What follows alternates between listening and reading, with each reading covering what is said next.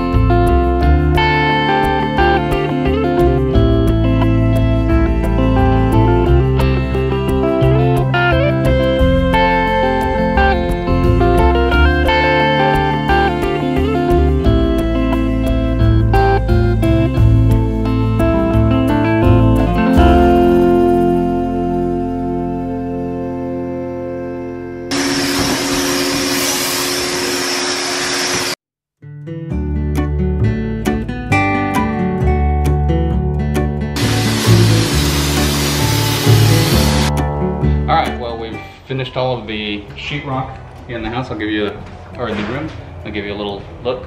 You can see we've uh, put sheetrock on all of the walls here, the ceiling, and everywhere. Uh, there was also a spot in here, which you probably saw me putting up earlier. The ceiling did not have uh, sheetrock. It was that same paneling, and so we put sheetrock there.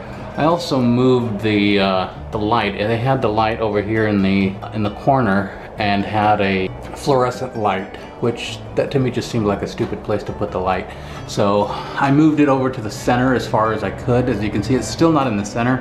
That's as close as I could get it with the length of uh, Romex cable that that I had in the attic. Um, I, I couldn't pull, they didn't have any more slack than that, so that's as close as I could get it. But that's probably close enough. I have not put sheetrock on the inside of the, uh, of the windows, and that's because I'm gonna be using wood trim. I think it looks a little bit nicer, it's a little bit more work, but as you can see, we put one sheet, one full sheet on the bottom, one full sheet on the top, and leave the little pieces in the center, and that's so that when I'm taping, I don't have to bend over or climb on a ladder uh, to do. My wife asked me why we did that, why I put the top one on, then the bottom, and left that in the center. And I told her it was out of pure laziness for not wanting to bend over later to uh, um, to do all the taping. But there we are. I also, you can see I I filled up any gap there along the bottom. Uh, it helps some with insulation, of course. Cuts down on little drafts and things. But mostly I did it to try to keep try to cut down on uh, bugs getting in.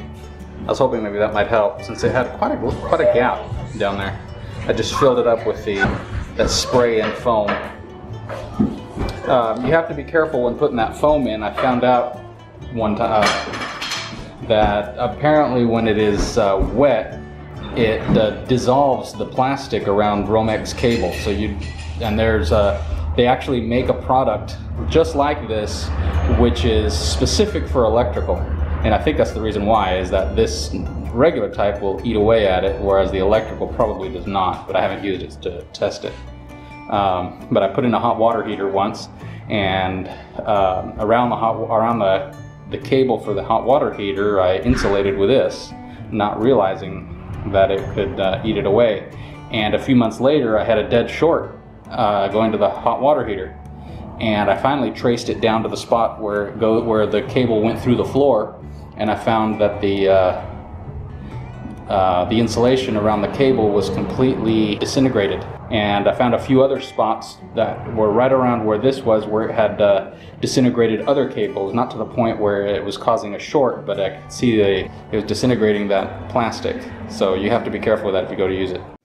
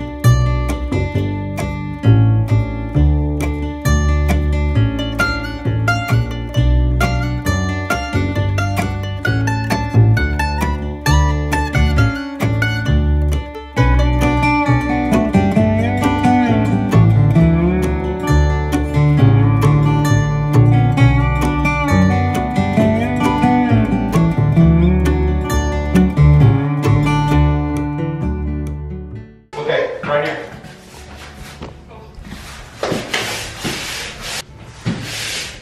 As you can see, we've uh, finished all of the sheetrock, and I've covered up all of the holes from the uh, screws, and covered the seams with tape and with mud, uh, and left it nice and smooth, so you can't see where the uh, where the seams were between between sheets of drywall, and same for the ceiling. So you guys can look at that, and also uh, all of the corners, made them nice and smooth, so it looks uniform. And uh, I've sanded it down, cleaned it, and it's ready for paint. So we're preparing, covering our floor, getting ready to, to paint. And who is that guy? The best He walked in here a while ago. this is my brother-in-law, Paulo. He's, he's visiting here from Brazil. The best brother-in-law. The best one from Brazil. okay, that's okay. He's gonna help. That's for covering the primer on the floor. Just to keep it from, just to keep the floor clean. Hey, Hi. Suelen Bowman channel, subscribe here. Yes.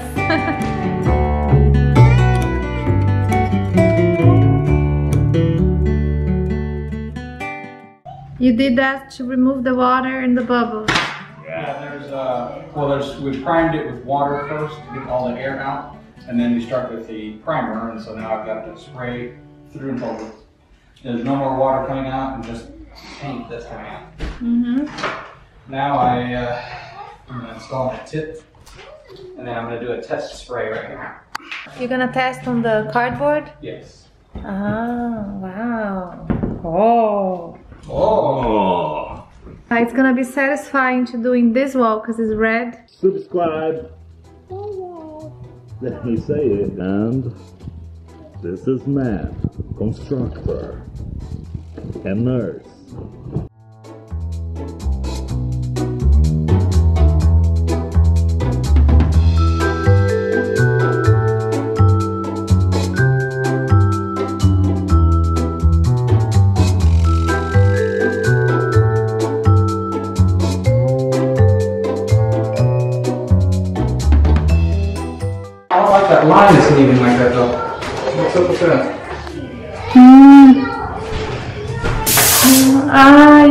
Yeah,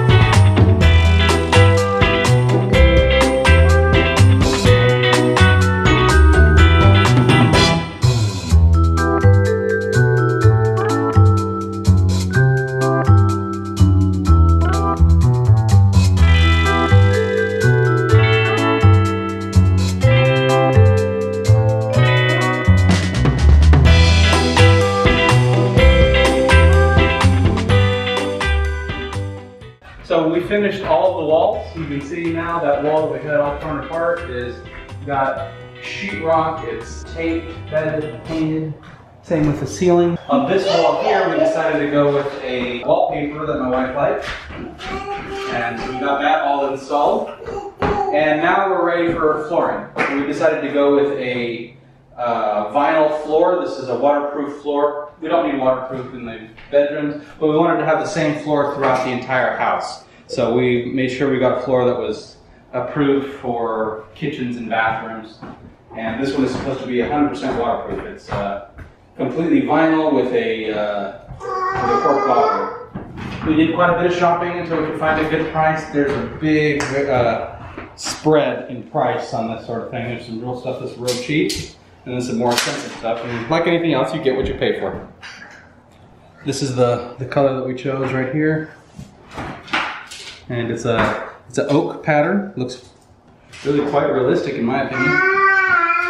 And then on the back it has this rubber foam with some and that's supposed to give a nice pad underneath so that it keeps your floor nice and quiet when you walk on it. So we're gonna go ahead and get started on that first uh, on that first row. So I've made some marks here on the on the on the floor because you really don't want to follow the wall. The wall can move in and out. You want to follow a nice straight line that you put. And you put it on the top of the what was on the house. That's why you didn't care much. The paint fell on the floor. Correct. What what marks you made? Little black mark right there. Ah, And there's every okay. there's A little mark here, there's a little mark here. right here. Uh, then we'll do, once we do flooring, then we'll do, we'll lay the baseboard on top, all the way along here. Then we'll be uh, putting the trim around windows and doors, light fixtures, the electrical, all of that, and then the room's done. Okay.